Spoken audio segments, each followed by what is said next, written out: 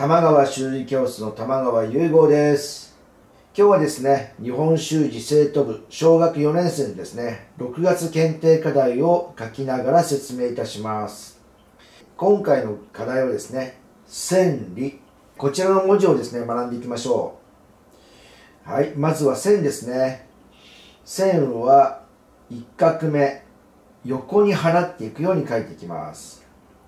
そして最終角三角目は縦角まっすぐ空手で、ね、引いて書いていきましょう。はい「り」ですね「り」はまず縦角はこう内側にね入っていくようなそんなですね方向に注意していきます。そしてここ「俺」ですね「俺」は支筆と同じ角度で止めてそしてもう一度ですね、こう押さえ直してから方向を変えて内側に書いていきます。そしてここ横角の間、間隔ですね。間隔は揃って見えるようにですね、書くようにしてください。で、こちらのですね、赤手本課題ですね。裏面に赤手本の書き方というのがあります。こちらはですね、この課題をどのようにして書いたらいいかということが書いてありますので、最初にですね、そちらをよく読んでから書くようにしてください。はい、それではですね、早速書きながら説明をします。はい、まず線ですね。1画目、太めに横に払っていきます。ここから横です。体で持っていきましょう。こう。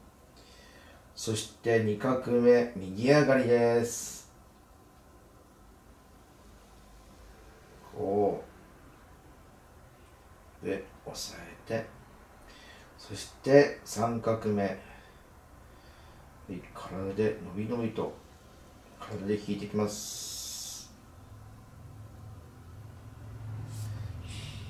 はい線ですね。次は里里です。はい一画目。はい内側に寄せていきます。はいここですね。2画目右上がりです。はい。俺斜めに止めてそしてもう一度持ち斜めに押さえ直してからそしてまた内側に入っていきます。はい。次三角目横角はい。間隔にね気をつけていきますので各位置注意しましょうね。右上がり。はい、4画目。はい、右上がり、間隔等しくなるように。はい、5画目。